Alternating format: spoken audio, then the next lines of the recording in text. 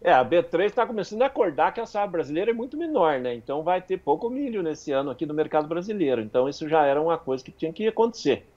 Valorizar o milho, né? Senão ele vai para exportação se ele ficar com um valor muito abaixo aí do que o mercado gira no mercado tracional, né? Então esse é o ponto. Lá em Chicago, o milho, ao contrário da soja, ele está tendo um apoio dele mesmo, porque com o petróleo em forte alta, ele força também o etanol para cima, dá fôlego para o etanol e ajuda o milho. Dá para ver que o milho está com alta maior do que a soja, justamente porque é fator positivo dele que vem de um grande apoio do, do petróleo. Né? Petróleo ajuda etanol, ajuda milho, além de que as commodities em gerais todas estão em alta hoje pelo ânimo do mercado financeiro internacional mais otimista. Né?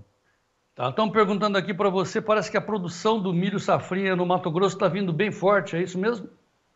É, agora a colheita, né? As lavouras que estão sendo colhidas, em grande parte, são as lavouras melhores, né, João? Então, é normal ter uma colheita nesse momento, mas a safra do Mato Grosso, em geral, foi menor em área, ela foi menor em tecnologia, e as lavouras que foram plantadas mais tarde, ela já cortou chuva, né? Então, depois a gente vai ver. Eu acredito que a safra do Mato Grosso vai ser uma safra normal.